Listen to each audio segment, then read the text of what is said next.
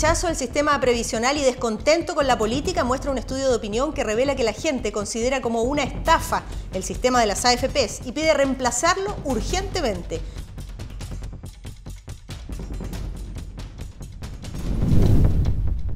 Selección Nacional de Básquetbol en silla de ruedas recibió importante donación que le permitió comprar vestimenta y nuevos implementos para mejorar la preparación de los deportistas.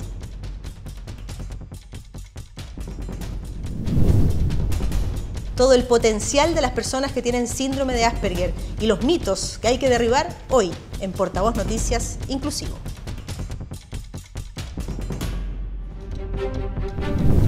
Con el auspicio de Arcatel, Asociación Regional de Canales de Televisión de Señal Abierta de Chile, presentamos Portavoz Noticias Inclusivo. Hola, ¿cómo están? Les damos la bienvenida a Portavoz Noticias Inclusivo, como siempre, junto a Alejandro Ibacache. ¿Cómo estás, Alejandro? Muy bien, Scarlett. ¿A quién vamos a saludar hoy día? Hoy quiero saludar de manera muy especial al Observatorio de Derechos Humanos para las Personas con Discapacidad Mental. Ellos, el próximo 27, tendrán su primera cuenta pública. Así que les enviamos todo nuestro cariñoso saludo. Muy bien, y vamos a las noticias como una estafa. Así es considerado por muchos el actual sistema previsional. Esto según un estudio de opinión pública de la Universidad de Santiago. El 61% de los encuestados afirma que es urgente reemplazar las AFP. Y dos de las reformas más importantes impulsadas por este gobierno, la reforma educacional y laboral, fueron calificadas con nota roja. Además, la gente expresa un alto rechazo hacia los políticos. ¿Descontento generalizado? Cintia Lara nos cuenta. ¿Qué opinan los chilenos sobre las AFP? Yo creo que el sistema de la AFP es pésimo. No, hay que eliminarla, hay que eliminarla, está más que claro. La respuesta de la gente es bastante clara. Al parecer, un cambio al actual sistema de pensiones se requiere con urgencia, así quedó demostrado tras el estudio de opinión pública triangular, que arrojó que solo un 3% de los encuestados piensa que el actual modelo de pensiones debe mantenerse la perspectiva de que la FP tiene que mantenerse tal como está no, prácticamente no existe.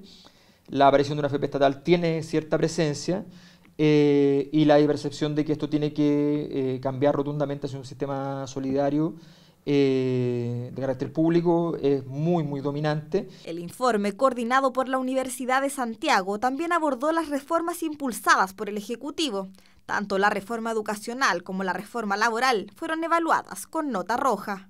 Las propuestas que tiene el gobierno, hay partes que no se, no se han cumplido. La reforma no le creo. Realmente es increíble, no, no tapemos el sol con un dedo.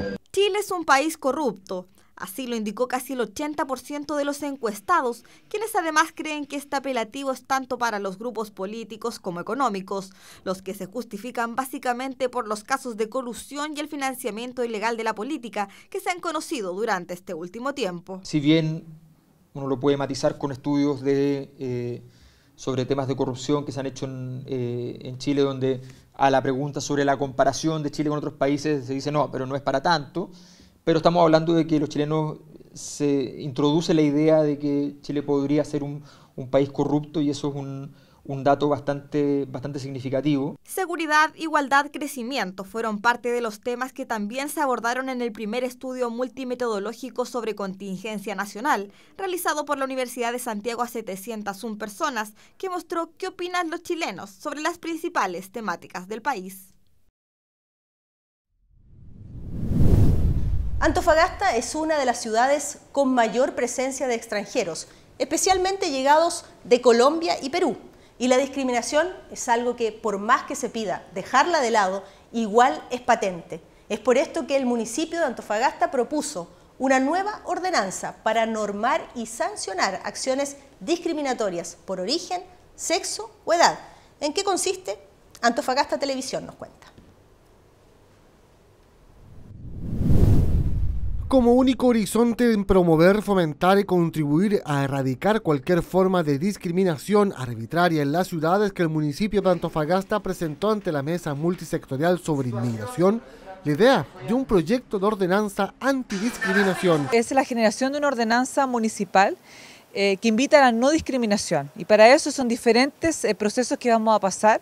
Y hoy día en la mesa multisectorial hemos presentado esta iniciativa donde le hemos llevado debate. Hemos sacado conocimientos y requisitos bastante enriquecedores. Me parece bien el trabajo que se está haciendo. Era importante, necesitamos una ordenanza. Me parece además bien que la ordenanza sea debatida con los grupos eh, que están siendo afectados eh, todo eso me parece bien, pero sí eh, quiero hacer mucho hincapié en que primero esto tiene que transformarse en una política transversal al interior del municipio y los primeros en dar el ejemplo son por supuesto sus autoridades. La legislación comunal se encuentra dividida en cuatro capítulos y 17 artículos que tienen como objeto promover y fomentar la igualdad, prohibiendo la discriminación según las categorías establecidas en la ley número 20.609. De igual forma, promueve la generación de políticas públicas a través de acciones territoriales masivas para generar inclusión social en la ciudad. Nosotros celebramos este tipo de, iniciativas por parte desde el municipio que sin duda dejan entrever un símbolo sobre el lineamiento de gestión de la diversidad que el municipio espera desarrollar. Como toda ordenanza posee sanciones, entre dichas penalidades se encuentran las multas de 1 a 5 unidades tribunales mensuales a quienes difundan propaganda discriminatoria. Obliga además a iniciar un sumario administrativo contra todo funcionario municipal denunciado por prácticas discriminatorias al margen de las acciones legales que puedan emprender las víctimas. Talento musical desde el campo chileno. La música es una forma de expresión cultural y también una instancia de superación y crecimiento para muchos niños y adolescentes. En la localidad de El Convento, en Santo Domingo, se formó la primera Orquesta Sinfónica Juvenil Rural de Chile. Esto luego de un acuerdo entre la Fundación de Orquestas Juveniles e Infantiles, el municipio y la agrupación cultural de la comuna. ¿Quiere conocerla? Se la mostramos en la nota de Giro Visual. Actualmente, a lo largo del país se incluye a los niños de sectores rurales en las orquestas regionales. Sin embargo, no se tiene registro de una agrupación musical que solo esté conformada por niños de las zonas rurales. Hoy día estamos dando origen a esta Orquesta Sinfónica Juvenil Rural, que eh, marca un hito y que es una clara muestra de las intenciones permanentes de esta municipalidad por estar eh, incorporando a nuestras zonas rurales las mismas actividades que nuestra zona urbana. La formación de esta orquesta fue posible gracias a un aporte realizado por la empresa portuaria de San Antonio, a lo que se sumó la firma de un convenio tripartito con la FOGI, Fundación de Orquestas Juveniles e Infantiles, la Municipalidad de Santo Domingo y la Agrupación Cultural de Santo Domingo. Con este proyecto lo que se está haciendo además es acortar las brechas en términos del acceso que tienen los niños de los sectores rurales a la formación artística. En ese sentido, Aide Tomic, directora ejecutiva de la Fundación de Orquestas FOGI, destacó la importancia que tiene el formar a jóvenes en la música, potenciándolos para ser agentes de cambio en nuestra sociedad. Lo que nosotros queremos es que ellos sean realmente agentes de cambio de sus personas, de su familia, de su comunidad. Por su parte, el director de la Orquesta Sinfónica de Santo Domingo e impulsor de la creación de una agrupación musical en el sector rural, Pablo Yáñez, destacó el momento histórico que se está viviendo en la Comuna Parque. Nosotros como profesores estamos muy contentos de llevar a cabo este proyecto. Hay un equipo de profesores que se va a encargar de formar a estos, estos niños y jóvenes. Antes quería ir a la otra orquesta, pero como que no podía. Que una muy buena iniciativa para la gente del campo porque pues los transportes no pueden viajar todos los días o cuando tengan que hacer presentaciones, pero ahora donde van a poder estudiar en su colegio en horario de clase se le, hace, se le hace muy fácil. Los alumnos ya tuvieron un primer ensayo junto a sus profesores y se espera que en el mes de diciembre puedan presentar un pequeño repertorio sobre lo aprendido durante estos meses.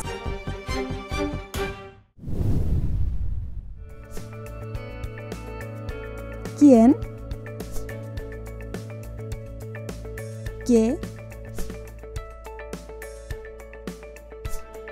¿Cuál? ¿Cuándo?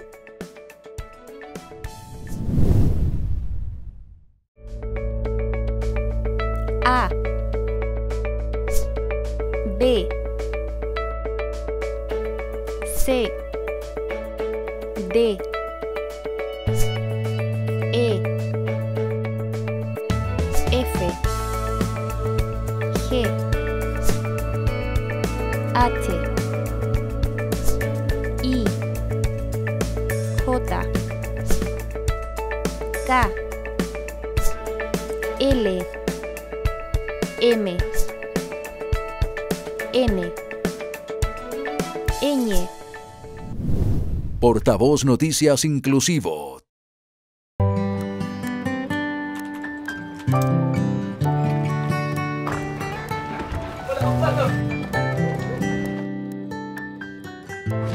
¡Mamá! Mira el mail que me llegó. Era verdad, arancel cero. Tus impuestos están cambiando su historia. Tesorería General de la República. Recaudamos equidad y desarrollo para Chile.